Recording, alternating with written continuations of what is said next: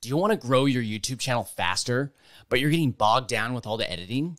Well, today we're going to be talking about how to edit your YouTube videos faster. Cutting down on your editing time will help free up your time so you can create more videos and grow your channel. Today we're going to go over five tips to help you edit your videos faster.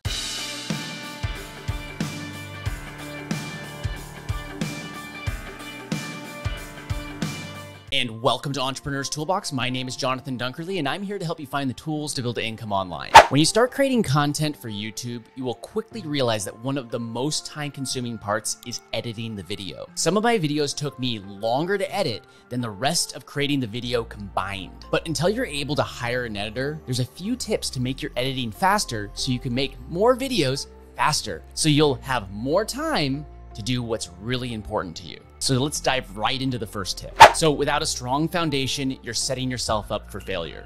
You can't build a great building on a weak foundation. This isn't a building, but it still applies. So the first tip is to plan your videos. You could do this in different ways, but it always starts with knowing what you're going to talk about before you press record. This could be something as simple as taking your points you want to go over and creating bullet points, or you can go the opposite extreme and script your entire video. Basically, do what's best for you, but having a clear plan doesn't just make it easier while you're recording your video, but since you have less mistakes, you won't have as much footage to go through.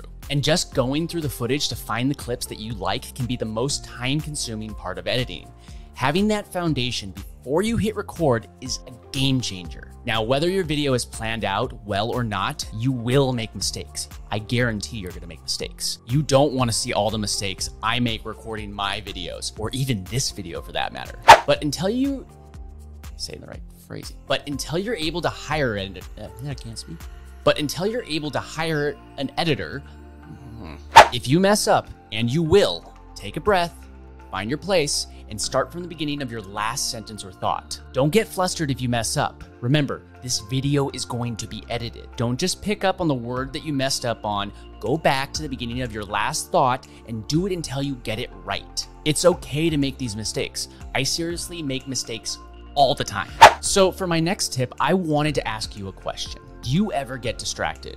You tell yourself you're going to get something done, some work done, and instead you spend an hour watching YouTube videos or anything else that might get in the way of you being productive. So, if you eliminate distractions while you're editing or any other productive task, you will be able to be laser focused on that one thing. Personally, the internet is my greatest enemy while editing you know, YouTube binges or Wikipedia binges or things like that. But things I do to avoid doing these things, I put my phone in another room. If I can't reach my phone, I can't use it. I know I waste a lot of time every single day on my phone. And for phones and computers, I turn off my notifications. I don't need every app update or email notification distracting me every five minutes. Or better yet, turn off your Wi Fi or unplug the internet. I think you're seeing a trend for me here.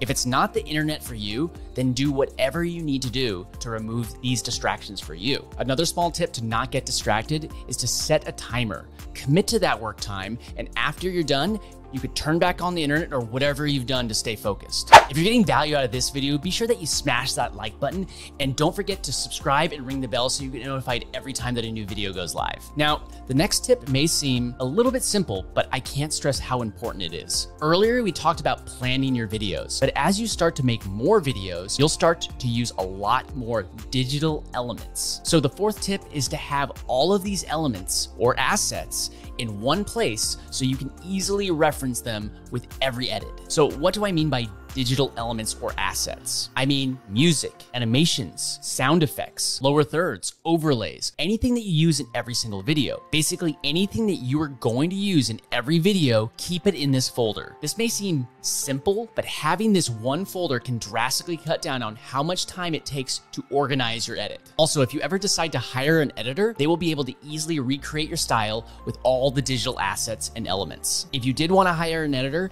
I dropped a link to the service that I used to edit this video in the description of this video. But personally, I'd learn a little bit about editing before I hire it out so you know what you want. For my fifth tip, I wanted to talk a little more about staying focused. There are a lot of different steps while editing, but editing editing the video all the way through before you start to fine tune will make a huge difference. So for example, you'd cut out all the fluff in your footage and find the clips that you want to use, and you'd have the ones that you like. Then you'd add text, then you'd add the animations, and then you'd add sound effects, then you'd add music, and so on and so forth. Every step takes time and energy for you to change gears. The better way is to focus on one step at a time. Go through your footage, pick the clips that you want to use.